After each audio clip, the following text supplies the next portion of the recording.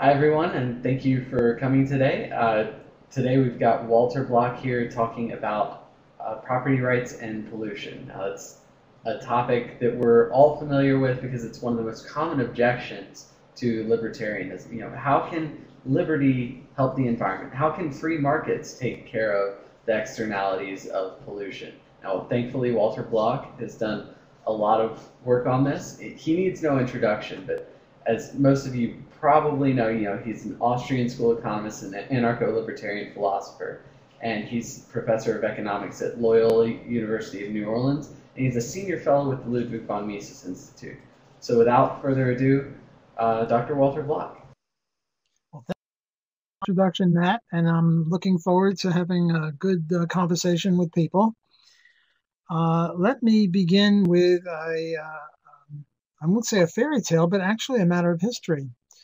Um, in the 1830s and 1840s in the U.S., there would be uh, what we would now call uh, pollution cases. Uh, in those days, they um, uh, they didn't call it that. I forget exactly what they called it, but the typical um, nuisance. They called it nuisance uh, cases. And the uh, typical um, situation would be there'd be some little old lady who would uh, go out and um, hang up her washing on the line. They didn't have uh, clothes dryers in those days. Uh, there'd be a clothesline and uh, um, uh, pins that you'd uh, clothes pins that you'd put your clothes on the line, and she'd put them out there, and they'd be wet and clean.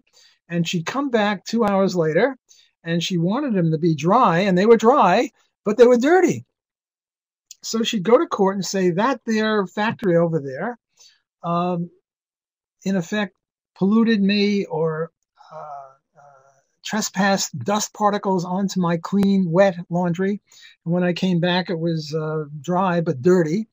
And I want two things out of that um, rascally, uh, not rascally wabbit, but rascally uh, uh, factory, I want an injunction, namely, uh, and damages. I want an injunction, which means a letter from the judge saying, you know, bad, bad boys, do that again and I'll put you in jail. And, uh, you know, an injunction, uh, cease and desist, stop polluting this lady's uh, laundry. And I want damages also. You know, it cost me, I had to wash the laundry again, whatever. So that was one kind of case. Another case uh, would be a farmer would have some haystacks and there'd be a, a, a, train and the train would come by and it would set off sparks 300 feet in the air and it would uh, set on fire the uh, farmer's haystack and the farmer would go to court and say uh, that choo-choo train um, uh, violated my property rights it um, it uh, set my haystacks on fire with its sparks and um, I'd like damages and an injunction. And um, these were the sorts of law cases that occurred in the 1840s, 1850s, 1830s. Uh, my um, sources for this is a book by Horowitz, uh, not our Steven Horwitz, a different Horowitz, a guy from Harvard, and also Murray Rothbard, who wrote an excellent, excellent article uh, on air pollution in the Cato Journal in 1982.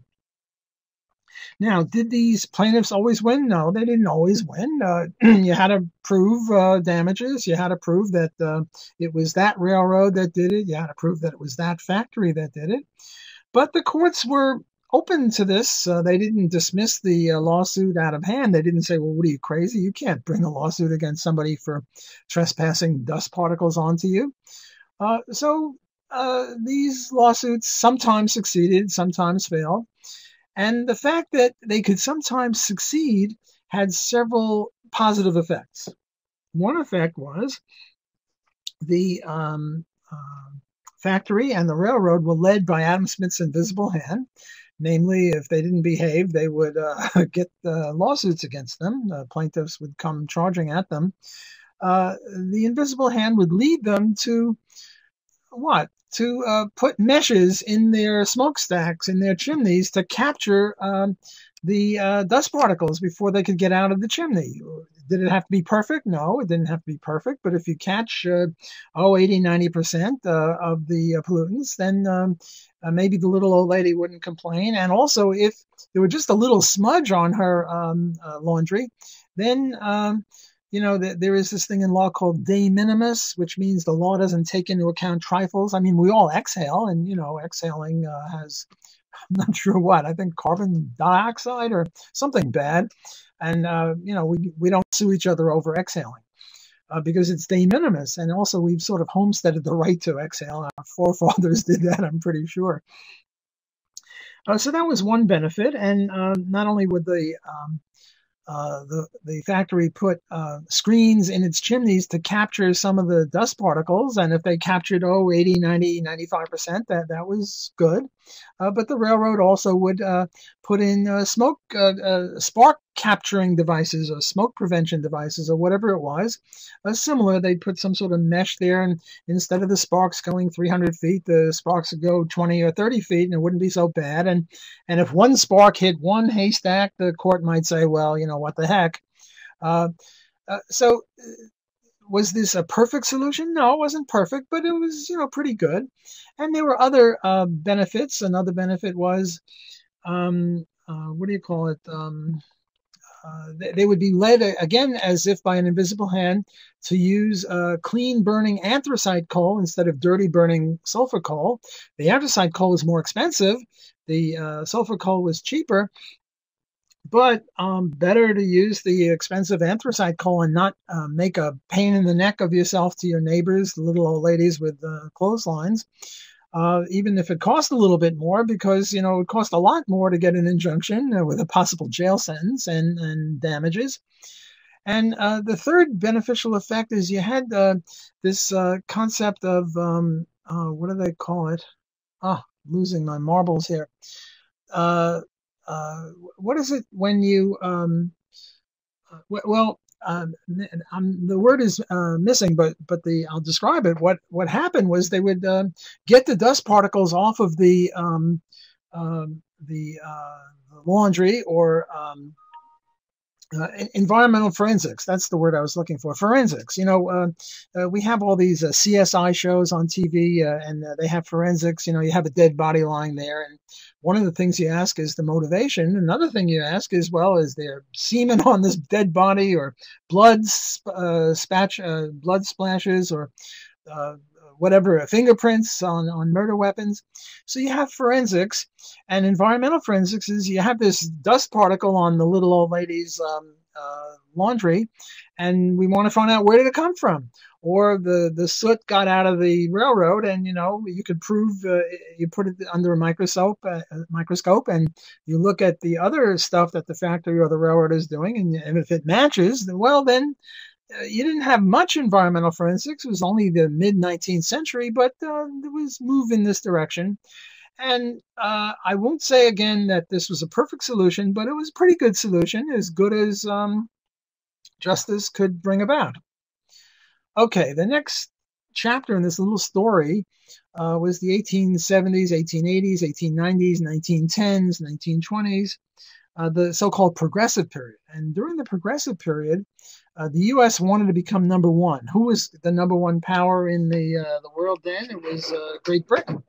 And uh, how do you get to be the number one great power? Well, you have to have battleships. You have to have um, I don't know tanks or jeeps or well in the 1890s I don't know airplanes. I, I forget.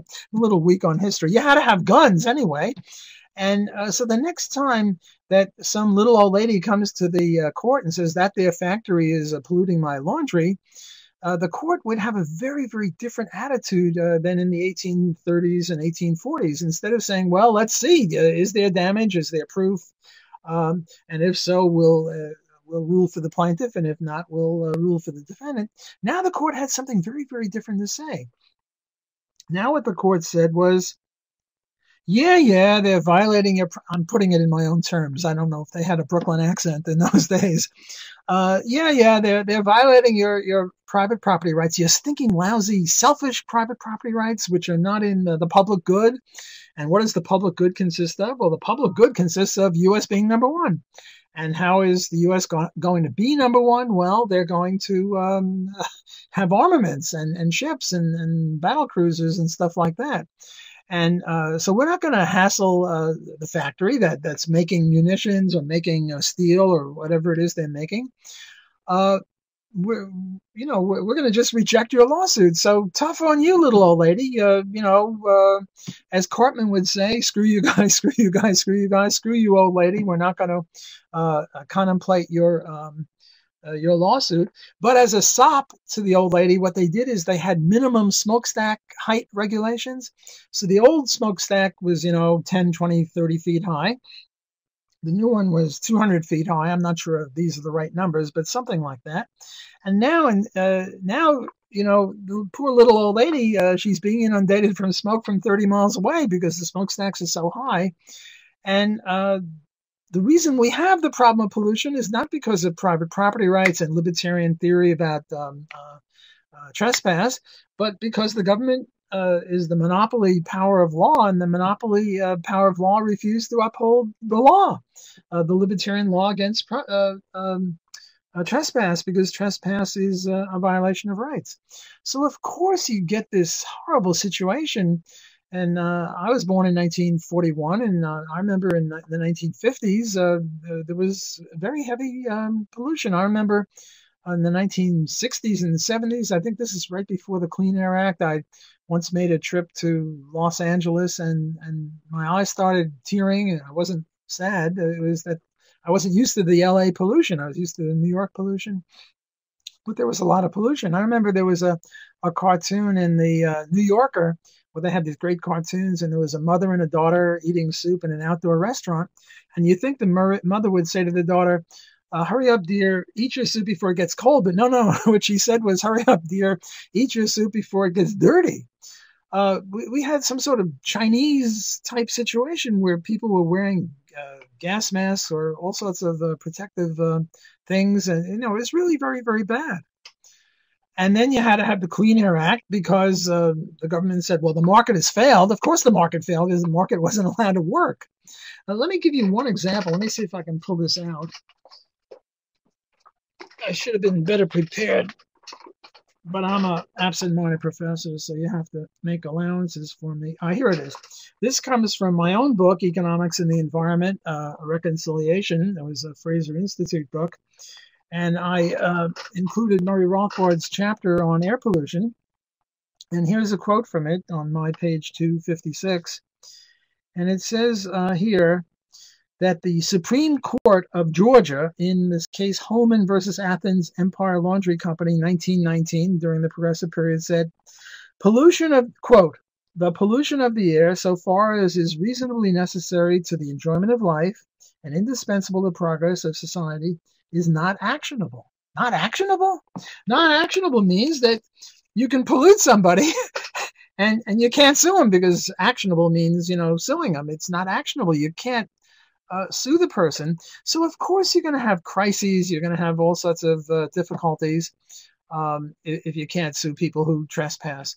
Look, if you take uh, garbage, uh, eggshells, and lemon peels and coffee grounds and stuff like that, and you dump it on your neighbor's lawn, well, the neighbor's going to call the cops, or well, at first the neighbor, if it's a nice neighbor, is going to say, you know, have you lost your mind? What are you doing? Uh, come back here with a shovel and a broom and get your crap off my lawn.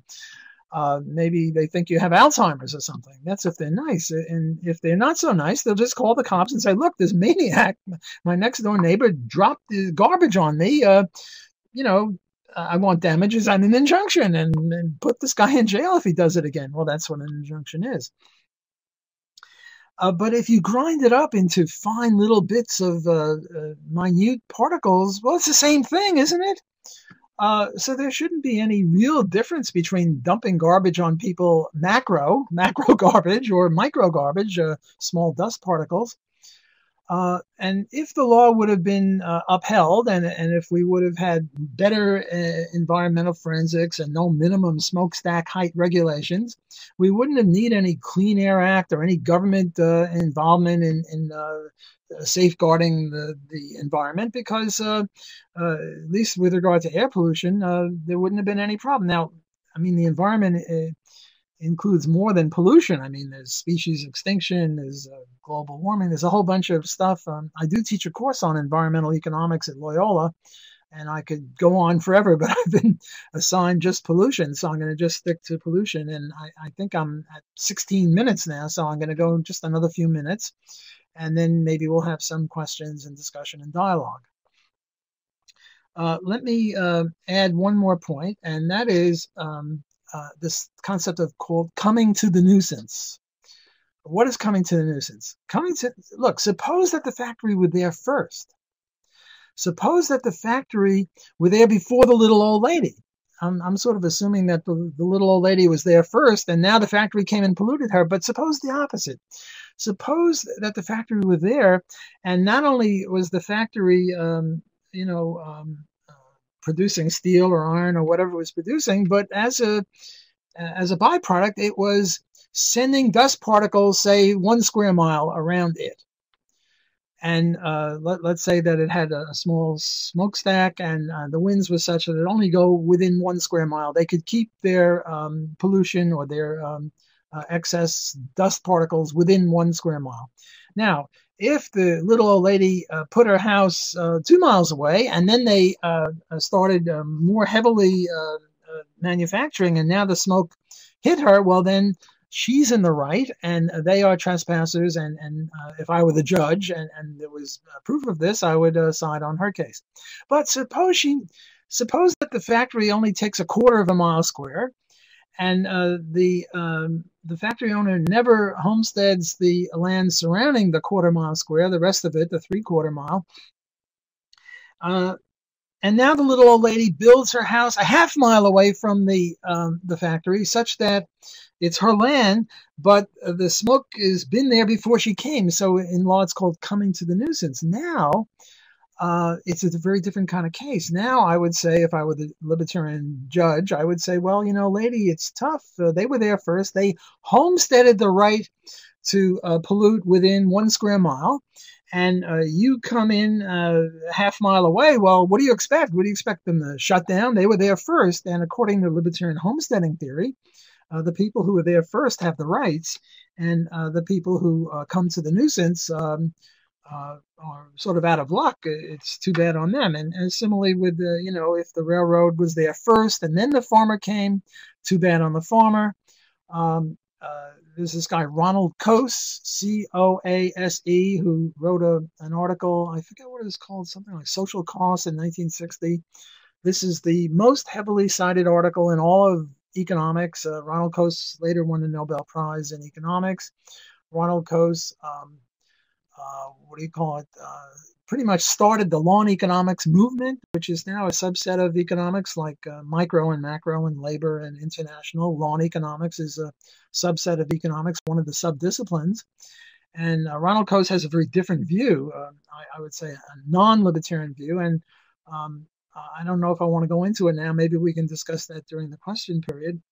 Uh, but the another example of this coming to the nuisance is an airport the airport doesn't usually uh, have much uh, pollutants, but it has noise, and noise pollution is the same economically as um, dust particle pollution. And if the uh, airport uh, has a square mile of uh, runways and then uh, 10 square miles of noise, and they were there first, well, then they have a right to um, to make noise. And if you locate within the 10 square mile area, you can't tell them to shut down. On the other hand, if they're using um, jet plane uh, propeller planes, and then all of a sudden they use jet planes, and you were outside the 10 mile limit, well then uh, uh, uh, you would have a case, not them. Okay, well I, have gone on for about 20 minutes, and that's roughly what I thought I would do. I hope I've introduced the subject, and uh, now we can have questions, discussions, disagreements. Um, you know, we can learn from each other. We can try to fine tune or better hone this um, uh, libertarian theory of property rights and pollution.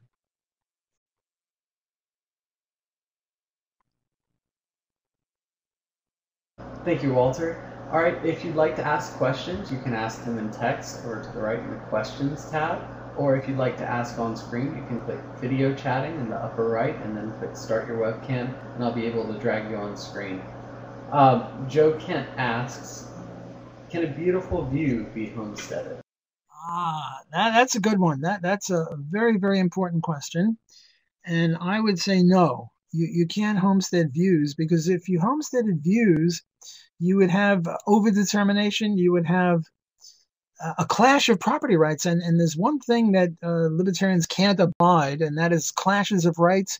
We don't believe that rights can conflict and that you have to have some sort of balancing uh, thing. That that's for the mainstream. We libertarians think that if there's a seeming clash, well, then one or both of the rights have been misspecified. Now, look, if you could homestead a view, uh, right now I'm uh, I'm seeing Matt, and I don't like the way Matt parts his hair. And by the way, he's got too much hair. he should be balder. And uh, if I could homestead the view, I could say, you know, Matt is violating my rights because look at all the hair he's got, and and I'm follically challenged, and he's not, and and I, he doesn't even have a part in his hair. I've got a big part, you know, uh, the whole thing is a part.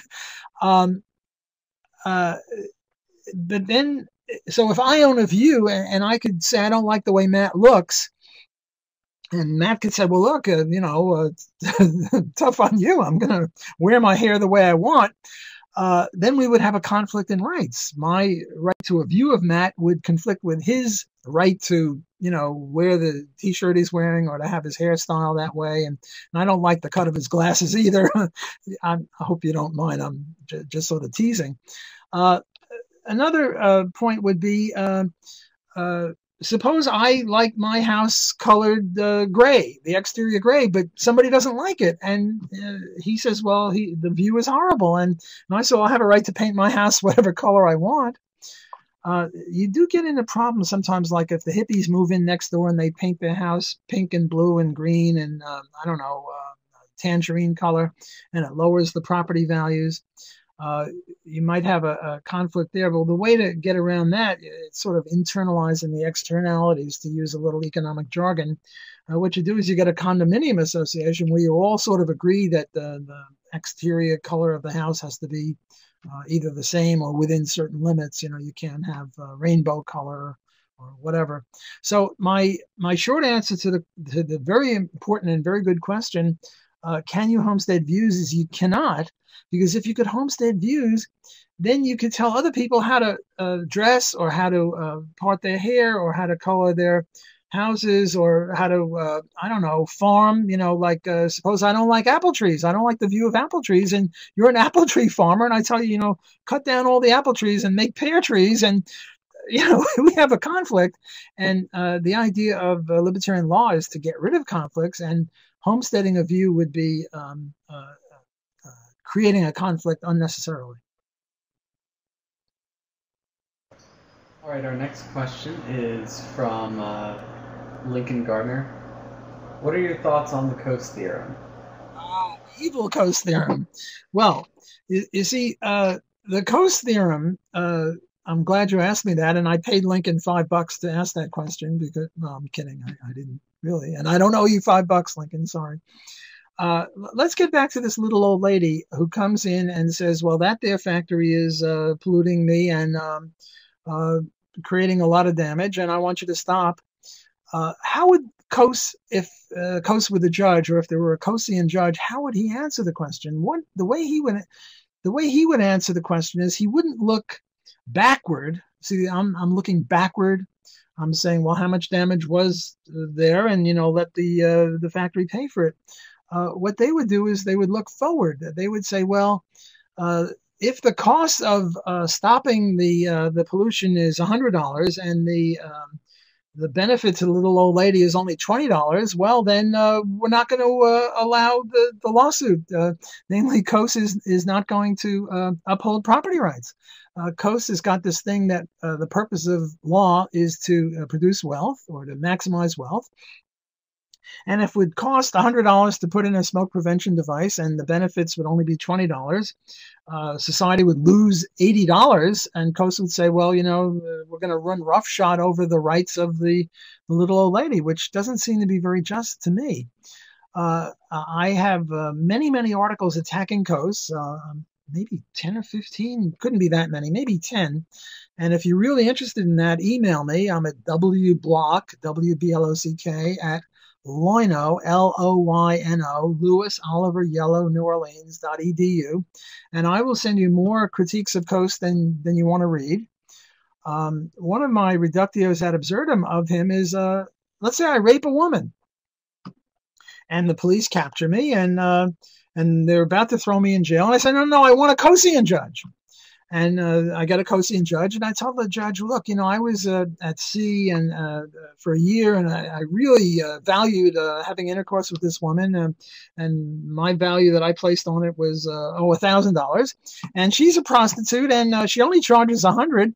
So therefore, if I rape her, society gains nine hundred, namely the difference between a thousand and a hundred, and I could get away with rape. I mean, that's despicable. That that's disgusting. I mean, that's horrible. Now I know the New York Times is going to say that I favor rape, but I don't really favor rape. What I'm saying is that if we uh, uh, take this case and we uh, use the Coasean analysis, uh, you can uh, support rape, which is uh, despicable horror.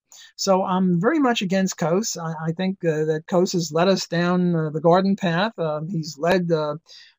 Thousands of economists down the garden path into this um, a crazy view about law because, um, uh, you know, uh, let me give you another example. Um, I, I, now uh, grab um, Matt's wallet.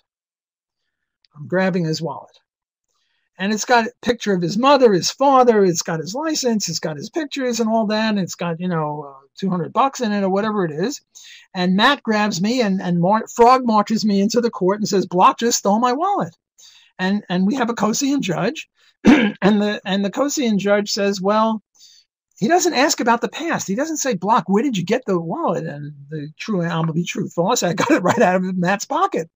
He doesn't ask that. What he says is, Block, what will you do with the contents of the wallet?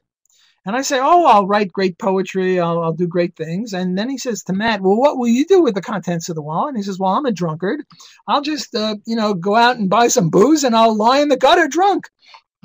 And then uh, Coase says, well, you know, we should give the wallet to Block because wealth will be maximized if Block has the wallet rather than if, if um, Matt uh, has the wallet. You know, if this isn't a violation of libertarian principle, then nothing is, And namely is the Antichrist, or I don't know, uh, Lucifer, uh, the devil. Uh, I mean, he's a nice guy. Uh, uh, personally, I guess. I, I, once met him. He seemed nice, but his theories are, are just uh, horrible, and they've taken over the entire economics profession. As I said, this article was the most highly cited article of all articles, I think, in social science, not just economics. And and uh, academics and scholars and intellectuals put great weight on not how many publications you have, but how many citations you have. And this is the most heavily cited article, and it's just pure crap. So uh, we have to uh, watch out for uh, evil Ronald Coase. And and the and the drunkard Matt, watch out for him too. You, you never know what. Matt, you don't mind me uh, picking on you, I'm sure. No, First, no. I criticize your hairstyle, and I call you a drunkard. It's all in good fun. Uh, you've called me a socialist before too, so it's okay. Uh, Matt Hasty asks, People from the city move out to the waterfront lands and then complain about the noise airboats make. Is this a case of moving to the nuisance? It depends upon uh, who was there first. If the airboats were there first, well, then they have a right to do it, and if not, not. The the book that I'm now working on is um, uh, privatizing lakes, rivers, oceans, aquifers, bodies of water. Uh, I forget the title of it. Something like privatizing water. Well, it depends upon who owns the lake.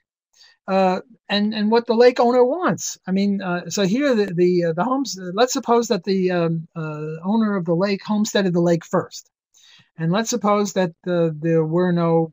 Well, you know, I I, am rethinking this uh, because if you see if the lake owns the um, lake owner owns the land on the side. Let me start again. Excuse me if uh, there were only sailboats, quiet sailboats, and um, what do you call it? Um, uh, swimmers, uh, quiet swimmers, uh, you know, and uh, there were uh, houses around the lake, and now the lake owner owns the lake, and he's contemplating putting in noisy um, motorboats.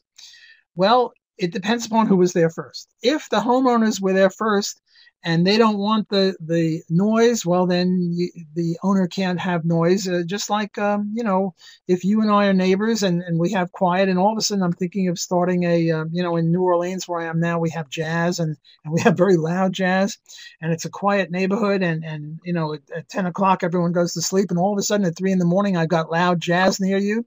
If you were there first, I have no right to make noise against you. Uh, very similar to the airplane uh, question.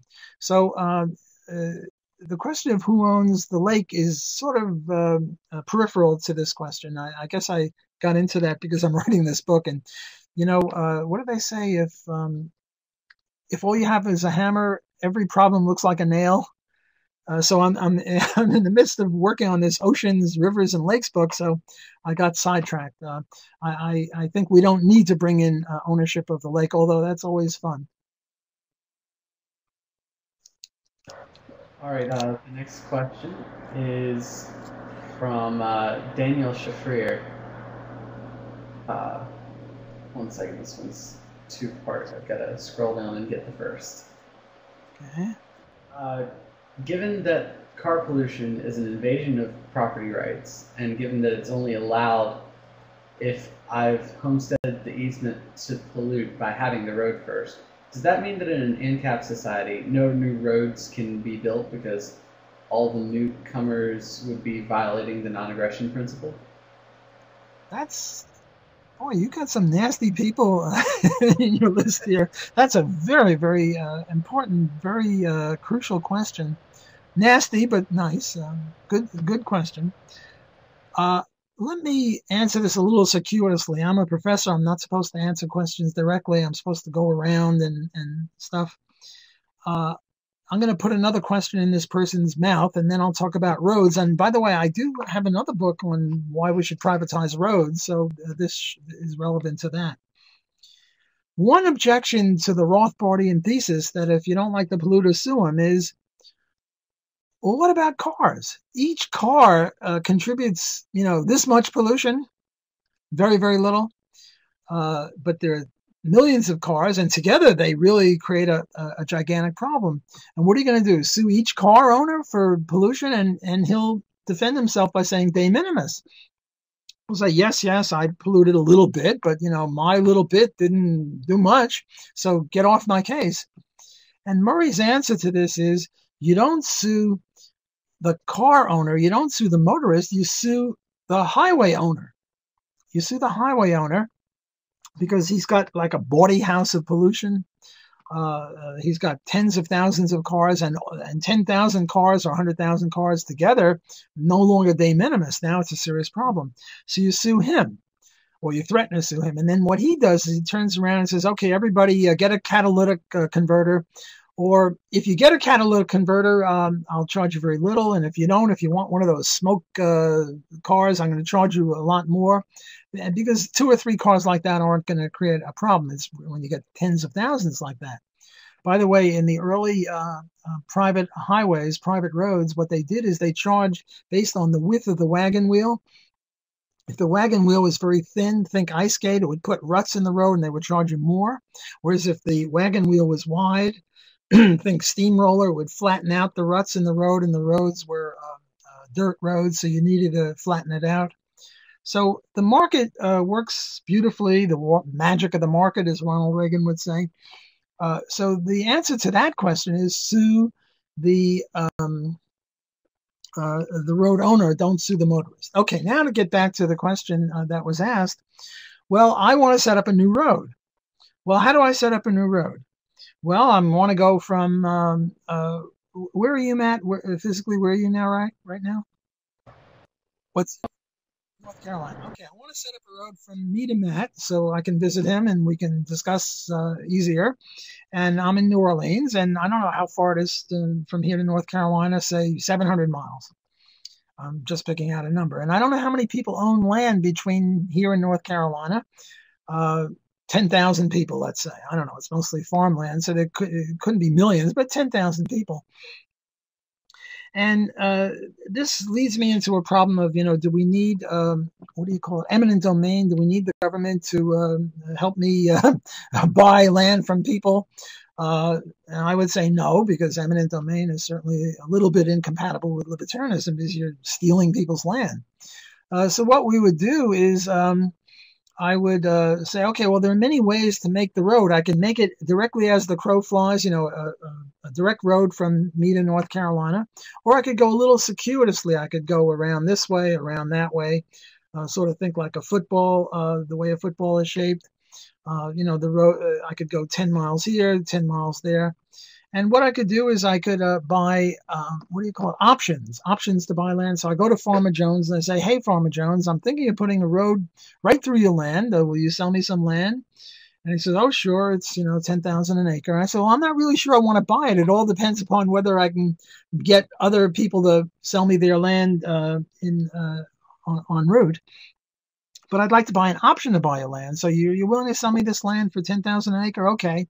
Yeah, I'll tell you what I'll do. I'll give you a, a thousand, just 1,000 for these uh, 10 acres, which are, cost 100,000. Uh, uh, an option, namely, uh, within a year or two, I can exercise this option to buy the land at the price we've agreed to. And then if I can buy options all the way through, then I, um, then I um, have a, a route. Okay, but now the pollution is going to See, how, how wide does the road have to be? Well, if it's going to be three lanes this way and three lanes that way, and each lane is 10 feet wide, I guess, something like that. And um, I'm going to have a, a, what do you call it? Um, a, a grass in between. Uh, what do you call that? I forget. Uh, let's say it's going to be 30 feet. So I need 90 feet. Let's say I need 100 feet wide.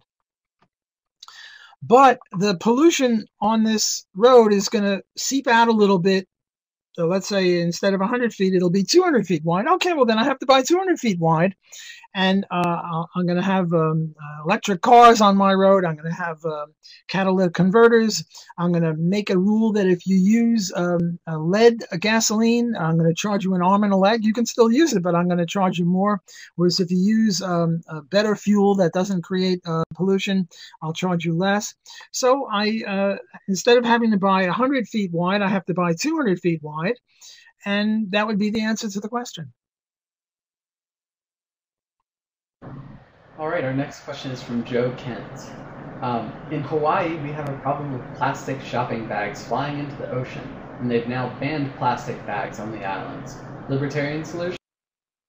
You know, this is interesting. Uh, the, the, New York Times just had a thing saying um, uh, we should charge a 10, 10 cent tax on, uh, or 10 cents more for every plastic bag. Uh, I think in their heart of hearts they wanted to ban it, but uh, there was a bill in the New York Senate or something saying, well, let's, um, you know, uh, add on 10 cents for each plastic bag. And uh, the New York Times applauded this. And I wrote an article saying, wait a second, they think that demand curves slope downwards. They think that if you charge 10 cents more for a plastic bag than, than, than uh, giving them away for free, people will want them less. Well, why don't they apply that to minimum wage law? uh, because they also favor the minimum wage law, and there they they deny that down, downward sloping demand curve. See how I get off the top? The, the you got to keep me uh, uh closer on to, to, the topic. Okay. Uh, so instead of uh, charging a tax on them, they're going to ban them. Well, the libertarian wears eyeglasses. And what are the libertarian eyeglasses? The libertarian eyeglasses are the non aggression principle. And we look at everything through these libertarian non aggression principle eyeglasses and we say, well, is X per se a violation of the non aggression principle? In which case, let's ban it. And if not, let's not ban it. So, is murder a, viola- a per se violation of the non-aggression principle? Oh yeah. Well, we got to ban murder. How about uh, slavery? Yeah, ban slavery. How about rape? How about theft? How about arson? Kidnap? Yes, yes, yes. These are all per se evil things that violate rights. Well, now I, I have a plastic bag. Here's a plastic bag. Ooh, plastic bag. Wait, I gotta see. I got cough drops in the plastic bag. Did I violate anyone's rights? Is this a per se violation of the non-aggression principle? Of course not. So we would be against banning plastic bags. Now, uh, putting plastic bags into the ocean, well, now we bring in ownership of the ocean, and I own the ocean around the. Um, let me get a drink of water. I'm running dry here.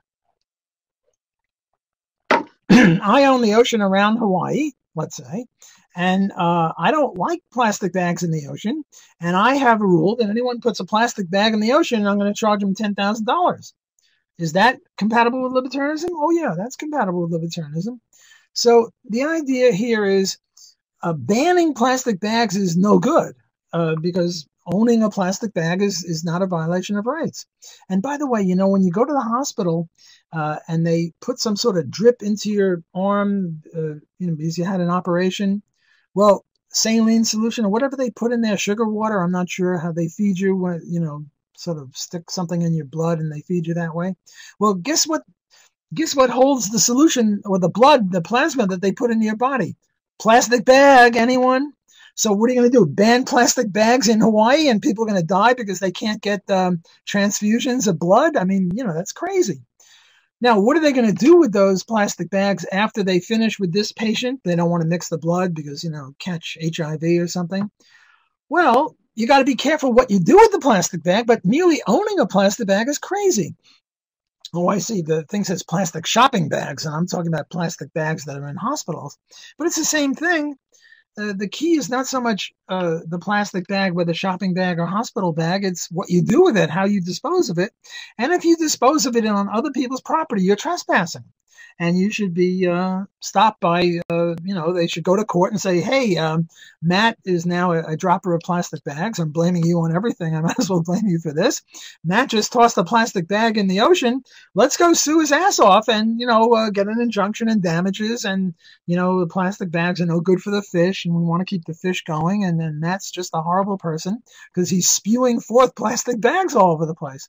So the key is to ban not spewing, not plastic bags, but ban trespassing plastic bags onto other people's property. If you want to keep the plastic bags on your own property, that's fine. I'm uh, use my position of power and influence here to uh, speak in one of my own questions. Um, about a year ago, there was a case libertarians got worked up over where someone was fined for collecting rainwater on their property because it prevented the rainwater from flowing down to the neighbor's irrigation pond.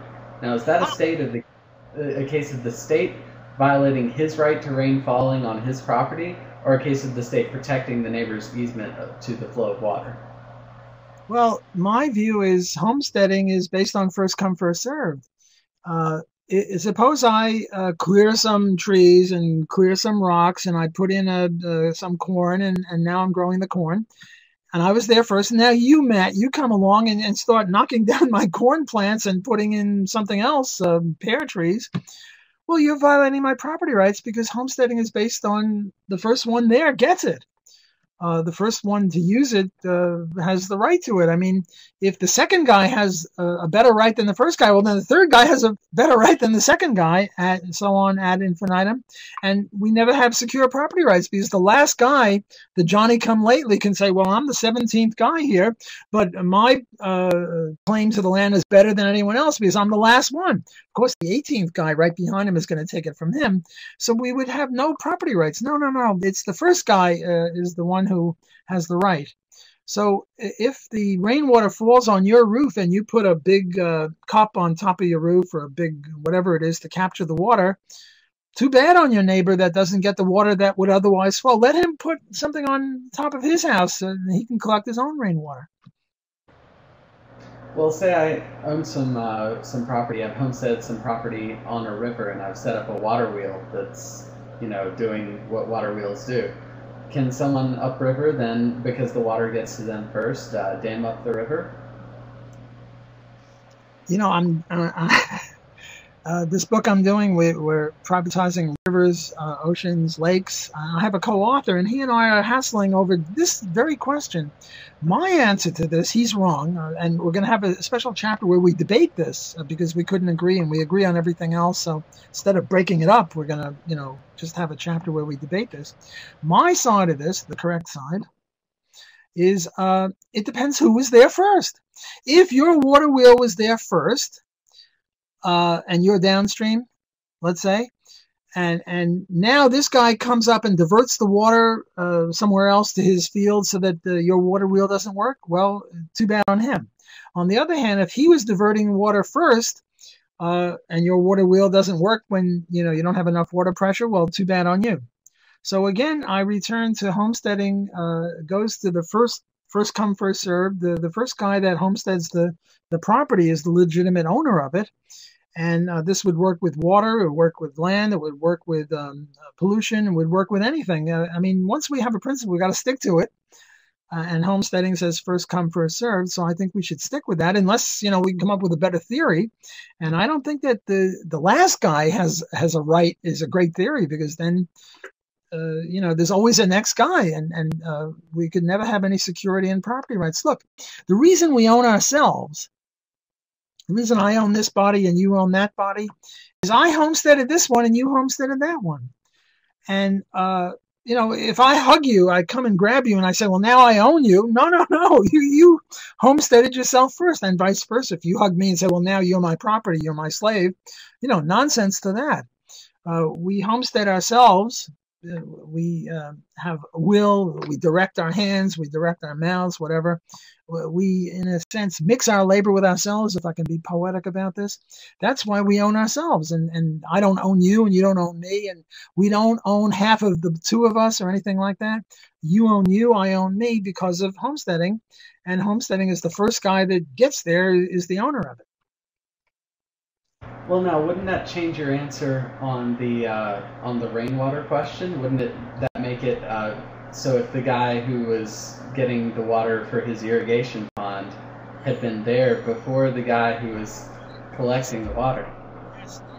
Yes, you're right. I missed that part. I didn't realize that the uh, the guy who was getting uh, collecting rainwater was there first. And now you, you dirty rat, put this thing on your roof collecting his water. You're the bad guy. Notice you always come out to be the bad guy, no matter what happens. Uh, no, I missed that. I, I didn't realize that um, uh, the guy who wanted the water for his pond was there first. I, I, I, I didn't realize that. Now that I realize um, it, I, I, think I'm being consistent with my principles. I think so too. Um, Brad Moore uh, asks a related question. How viable do you think the idea of privatizing waterways would be in terms of finding fault against aggressors? Well, that's a two part question. Uh, first of all, how viable do you think uh, the idea of privatizing water is, period. And the answer is not very viable at all. What are you, crazy? I mean, uh, my book on privatizing roads and highways was crazy because, you know, what's the likelihood of us privatizing roads and highways? Only a bunch of weird libertarians like us even think about that. Uh, for the average guy, you know, uh, the government has to own the roads. And for the average guy, the, the government, uh, either no one or the government has to own the oceans and the rivers. The Mississippi River, owned by Mississippi River Corporation, you know, what controlled substances are you imbibing? You know, uh, we're not going to let you drive because you're drunk or drugged or something. So I think it's not very viable. But uh, we libertarians are not that practical. We're out after the truth. And uh, the truth is that uh, the best system is to privatize highways it'll save oh uh, 25,000 deaths every year on the socialist highways of people dying like flies. And I think it would also uh, do much better uh, with water. Uh, private enterprise is better than government ownership or non-ownership, and it, it applies to everything. Uh, my motto in my emails is if it moves, privatize it. If it doesn't move, privatize it. And since everything either moves or doesn't move, privatize everything including water and, and, and land and every look the, the gdp on the water is about 1 or 2% or 5% of the world gdp whereas the water is about 75% of the earth's surface so we're not getting our money's worth out of water and we're getting water shortages and we're getting all sorts of problems with water um, uh, so I think we should privatize it. Uh, could you put that thing back on the screen because I forgot what the second part of that question was. The first part was, is it viable? Oh, in, in terms of finding fault against aggressors. I'm not sure I understand that. Uh, Brad, could you elaborate or explain that? I, I think he's saying, like, uh, as, in terms of someone upriver polluting you, is it ah. practical to be able to figure out who? Well, I don't think it's very viable because uh, we no longer have the uh, property rights law of the, the 19th century. We now have property rights law of the 20th and 21st centuries, where where you where things are not actionable. So uh, I think that if um, first of all, I don't think the Mississippi River is ever going to be, well, I shouldn't say ever, but not likely under Obama and not likely under uh, whoever uh, succeeds Obama, unless it's, I don't know, Rand Paul, maybe he turned libertarian, maybe he'll do it. I don't know. Uh, that would be a stretch. Even Ron Paul would be a stretch for Ron Paul to um, privatize the Mississippi and, and, and the oceans. Uh, but if we could privatize it, then I think that uh, we could find fault against aggressors. Uh, it's just trespass, and whether you trespass smoke particles or dust or uh, sparks or whatever, or put crap into the Mississippi River that screws up the fish and makes it undrinkable or whatever. Uh, in, in any case, uh, I think uh, it's feasible that it could be done, and it would be done if we had a libertarian society. And we should have a libertarian society. Uh, Contessa asks, and I think she's referring to uh, your uh, when you were talking about uh, um, putting together a road and you know getting options and stuff. Is it helpful to contract with a third party when searching for property and require them to find your must-haves and must-not-haves? I'm sorry, I don't understand that question. I, right. I don't. Contessa, could you try again? Uh, maybe elaborate or ask a different question because I'm not connecting and I don't like to answer questions that I don't understand. We'll move to the next one. We'll come back to it. Contessa, uh, try again. Herman Morris asks, how does one homestead bodies of water? By mixing one's labor with it, just like anything else. Uh, so, for example, who should get to own the Mississippi River? Well, um, the people who have land on the side of the Mississippi River, uh, on the east side and the west side, on the ground that you know they probably uh, use the water. The people who have those boats that go up and down the Mississippi River that carry uh, cargo, and then there are uh, cruises. Uh, people who fish in there, people who swim in there. what proportion? Well, the, the, this is the problem that the Soviets faced when they got rid of communism who should own the uh, the collectivized farm? Who should own the uh, the factory that makes I don't know um, uh, shoes? Well, uh, the libertarian answer is uh, the people who mix their labor with it. So the people who, um, well, in in the Soviet case, the the people who whose money was stolen from them in order to make those um, uh, factories. But if you can't find them, then the people who work there uh, they would have mixed their labor with the farm or with the factory, and they should be the owner of it. And then they should be able to sell it, and it should be listed on a stock exchange. Margaret Thatcher, uh, when she privatized the public housing, what she said is that uh, I think all the people who lived in public houses, uh, public housing, I think they call it council houses in, in England, uh, they can either buy it for free or not buy it for free. They can either have it or buy it for, you know, five bucks or something like that. A better idea would be uh, to find out whose taxes went into that. But if somehow you rule that out, uh, you can't find them, or you take the second best case, the people who live there. And the reason public housing is so crappy is because the people don't own it, and and uh, the people who do own it, namely the government, that has no incentive to make sure, like a landlord, a private landlord, to make sure the tenants behave. So public housing falls apart. So the way to privatize that is to give it to, and not not let them buy it, but give it to um, the uh, people who've been using it. So with the Mississippi River, all these boaters and swimmers and fishermen and other people, and uh, the people who own um, land on the side of it uh, should uh, get in other words, what we should have is a Mississippi River Corporation, and the Mississippi River Corporation should have, oh, I don't know, 10 million shares, and it should be listed on the New York Stock Exchange. And who should get how many shares? Well, we should div- divvy up the shares in proportion to how much you've been using the Mississippi River in the last, oh, I don't know, 5, 10, 15 years. You see, you're not going to get any perfection. It's sort of like trying to unscramble the egg. You really can't do it. You can only sort of approximate things. In British Columbia, Canada, there was this thing called BRIC, British uh, Columbia Resource Investment Corporation.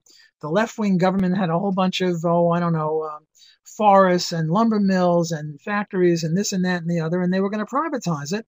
And what they did is they made a company called BRIC, and they gave five shares to every uh, British Columbian. Well, you know, it's not a perfect way of doing it, but the key is to get it in the private hands. And then the lefties were saying, well, the stock price went down. This shows privatization is no good. Doesn't show anything of the sort. Prices go up and down. So, um, how do you homestead bodies of water? The same way you homestead anything else. Mix your labor with it. All right, Joe Kent asks, what are some of the worst examples of government polluting? Well, the Hiroshima bomb, the Nagasaki bomb, the atom bomb, that was that was a bad, bad uh, pollution. Uh, killed a lot of people. Uh, boy, that was pretty pretty grim. I mean, dropping an atom bomb on innocent people. Wow, that I mean, that's disgusting. Uh, but I don't think uh, Joe meant that. Although you know that you know I'm free associating here. Uh, give me a break. Uh, what do I know? Um, uh, th- that's bad pollution. And then Agent Orange in Vietnam. Uh, you know th- that was bad stuff too. And then you know. Uh, government buses and government trucks and government uh, uh, works, you know, they, they're the worst polluters, and somehow we don't get them uh, government is evil and, and government pollution is evil. All right, our next question is uh, from Kavi Williams. Could livestock or pets cause their owner to be held liable for the animal's pollution on someone else? Yeah, yeah. I mean, when you walk your dog, you should have a plastic bag. Plastic bag, anyone? You should have a plastic bag because, you know, your dog is going to do his business on somebody's property or, or well, uh, either a, a, lawn or a, a, roadway. And, you know, it's sort of yucky to step in, in the dog's business after you leave, uh, you, you dog owner. So I think you should have, yes. And, and it, uh, you should be liable for the animal's pollution. And, and if your dog bites someone, you should be liable for that too. Uh, it's a different kind of pollution, biting, but forget about biting. It wasn't asked, but you know, the dog leaves, uh, a little package on someone's lawn, and uh, the, the, the homeowner comes out and says, "Oh, oh, this is great." Uh, no, the the dog owner should pick it up, and if the dog owner doesn't pick it up, uh, the dog owner should be uh, arrested for um, pollution or trespass. Uh, with regards to the question of governments polluting, some people in the comments had some some examples: the Iraq oil fires, Chernobyl and landmines. I thought landmines was a great one. Oh, oh I, I missed that. Uh, landmines are a great great example of this. Uh, I, I said I'd give you an hour, and we started at my time three. It's now about two more minutes, so maybe we should uh, wrap up or get one more question in, whatever you think. Uh, let me. Uh, we're actually out of questions unless uh, Contessa clarifies, but I've got one more. Um, now, I was uh, I was sad that uh, you had to miss the Austrian Economics Research Conference this year, uh, but at the conference, Ed Dolan pre- presented a paper uh, on environmental economics in which he criticized the approaches of Rothbard and Cordato because they place the onus of enforcement on the person whose rights have been violated, uh, thereby causing the relatively stronger burden to fall on the person whose rights need to be enforced rather than the person who's violating rights. Uh, now, Roy told me that he's writing a rejoin, rejoinder to the paper that's going to come out in, in the same issue of the, uh, I guess, the QJAE. But I wondered what your thoughts on that were. Well, you know, it's interesting. Uh, I asked Timothy uh, why he asked me. Why didn't he ask Cordato? And and uh, there was another guy uh, who was criticized, and he said, "Well, Cordato said that he's too busy to write, so I guess I was second choice." And uh, then uh, what happened was um, uh, uh Dolan's piece was only 7,000 words, and I wrote a reply of 9,000 words because, you know, sometimes it takes more effort to undermine uh, fallacy than to, to create fallacy. So I have a blistering, blistering attack on Dolan. I think he's just uh, horrible not as bad as the government, but you know, uh, intellectually uh, uh, very indefensible. So I'm not going to, you know, read my paper, uh, but um, my article is scheduled to come out in the same issue, uh, I guess, with Cordato and Dolan, uh, if they accept it, because they might not accept it because uh, maybe it's too long. I think they only wanted 4,000 words out of me, but I couldn't stop. I mean, I had to get them because that was an evil, uh, mischievous, um, ignorant. Uh, I mean, he doesn't even distinguish between libertarianism and Austrianism. I mean, it was really pathetic. Uh, and then I asked him, "Why do you put such a crappy piece of paper uh, paper in in the QJ?" And he said correctly, uh, Murray Rothbard once said. Murray was the original editor of um, the Review of Austrian Economics, which then became QJAE. And Murray's view was sometimes it's good to have a bad article in there, as long as you get other people who you know make sense of, of that issue. So um, we're out of time now, but let me just say that uh, if my article doesn't appear in the Quarterly Journal of Austrian Economics, I will publish it somewhere else, and uh, I will uh, get Dolan on on that uh, issue. Well, I'm looking forward to it. Uh, thank you so much for uh, for coming to speak to us. we'd love to have you back anytime you want to come. Thank you, everyone, for coming tonight and or this afternoon, and take care. Try to part your hair a little differently. I will. I will work on that. Take care. Okay. Thanks. It's always uh, fun.